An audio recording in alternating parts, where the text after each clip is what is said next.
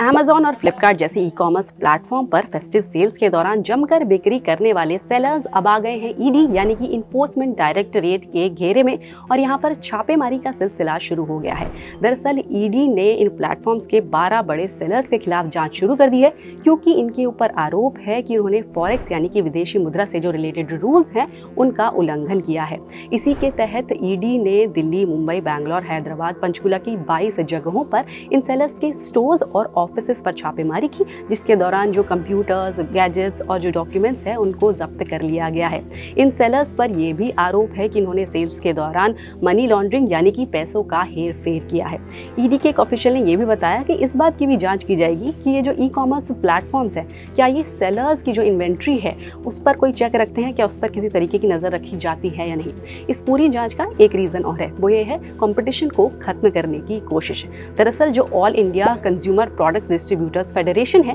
वो लगातार ये इल्ज़ाम लगाता रहा है, लगातार ये शिकायत करता रहा है कि जो ये ई कॉमर्स प्लेटफॉर्म है, ये कुछ चुनिंदा सेलर्स के ही प्रोडक्ट्स को सर्च में ज़्यादा दिखाते हैं और ये सेलर्स भी अच्छे खासे डिस्काउंट देकर कस्टमर्स को अपनी ओर खींच लेते हैं और ये दोनों जो प्लेटफॉर्म्स हैं और जो सेलर्स हैं, ये मिलकर बाज़ार में कॉम्पिटिशन खत्म करने की कोशिश कर रहे हैं, जिसका सीधा जो खामियाजा है, वो छोटे व्यापारियों को झेलना पड़ रहा है। इस पूरी खबर पर आप क्या सोचते हैं, हमें कॉमेंट बॉक्स में बताएँ और आपके काम की ऐसी और जानकारी के लिए एनडीटीवी प्रॉफिट हिंदी को ज़रूर सब्सक्राइब करें।